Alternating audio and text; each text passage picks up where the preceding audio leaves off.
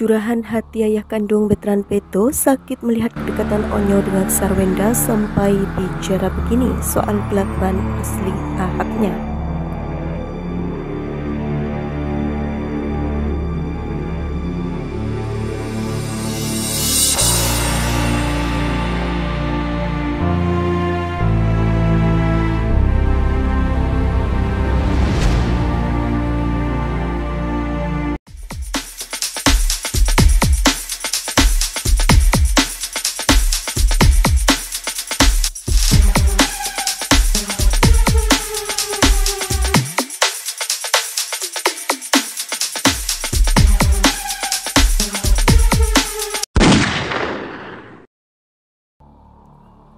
Ayah kandung Betran Peto, Ferdi Peto melalui akun YouTube pribadinya sampaikan klarifikasi mengenai isu kedekatan antara Sarwenda dan anaknya yang disebut netizen berlebihan.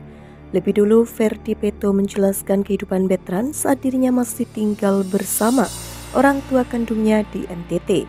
Sejak umur 8 bulan, Betran Peto tinggal bersama opa omanya dan bersama dengan kedua orang tuanya, tapi kami mendirikan rumah sendiri jelas Ferdi Peto. Ferdi mengatakan veteran Peto semasa kecilnya memang lebih dekat dengan nenek dan kakeknya.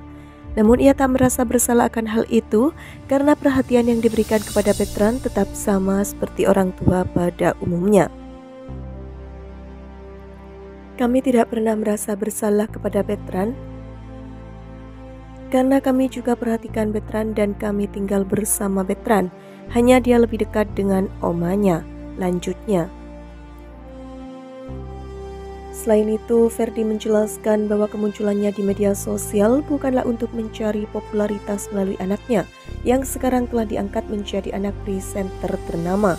Apalagi kini karir veteran kian gemilang di industri musik tanah air. Yang disayangkan, masih banyak orang yang masalah artikan kedekatan veteran dengan ibu angkatnya Sarwenda. Menanggapi isu miring yang terus menggoreng nama anaknya, Ferdi mengaku sakit hati dan tersinggung atas pemberitaan yang terus menggiring opini negatif atas kelakuan veteran Peto dan Sarwenda. Kami sekeluarga merasa tersinggung, merasa sakit hati dengan apa yang dilontarkan oleh teman-teman netizen terkait manjanya veteran kepada bundanya, ujar Ferdi. Secara tegas Ferdi Peto mengatakan, Jauh sebelum veteran hidup bersama keluarga kandungnya, ia kerap tidur bersama dengan omanya sampai kelas 1 SMP. Menurut Ferdi, veteran yang semasa kecilnya hidup jauh dari perhatian orang tua merasa bersyukur kali ini bisa mendapati kehangatan dari seorang ibu dan ayah untuk pertama kalinya.